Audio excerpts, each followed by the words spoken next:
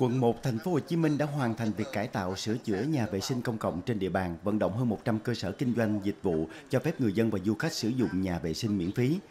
Tại khu vực công viên Phong Châu, ngay nhà sách Minh Khai, quận 1 đã chính thức hoàn thành việc cải tạo khu vực nhà vệ sinh sau hơn một tháng thi công. Theo đại diện công ty dịch vụ công ích quận 1, khu nhà vệ sinh này được cải tạo theo tiêu chuẩn của Tổng cục Du lịch. Kinh phí vận hành được lấy từ nguồn xã hội hóa, với sự chỉ đạo quyết liệt của lãnh đạo thành phố Hồ Chí Minh, hình ảnh nhà vệ sinh công cộng tại quận 1 nói riêng và thành phố nói chung đang có những chuyển biến rõ rệt.